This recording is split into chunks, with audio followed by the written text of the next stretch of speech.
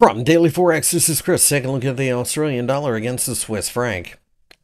In my daily analysis of minor currency pairs, the first thing I notice in the Australian dollar against the Swiss franc is that we continue to dance around between two major moving averages. Above, we have the 200 day EMA, which of course attracts a lot of attention from longer term traders. On the other hand, the market breaking above there could open up the possibility of a move to the 0.59 level. That being said, underneath we have a massive amount of support in the form of the 50 day EMA, which is closer to the 0.5775 level.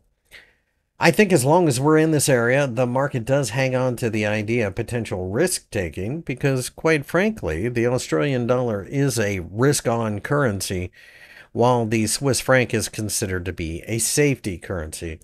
This is almost certainly going to be driven by risk appetite around the world, and therefore, I think you've got a scenario where traders will be very cautious about the idea of uh, whether or not stock exchanges continue to rally, whether or not gold rises or falls, and in a roundabout way, perhaps the US dollar, what it does, as it is considered to be a safety currency as well.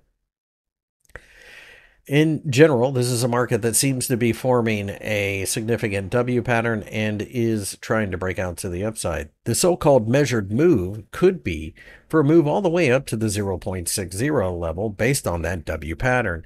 That, of course, would be a very strong move in the risk on flavor.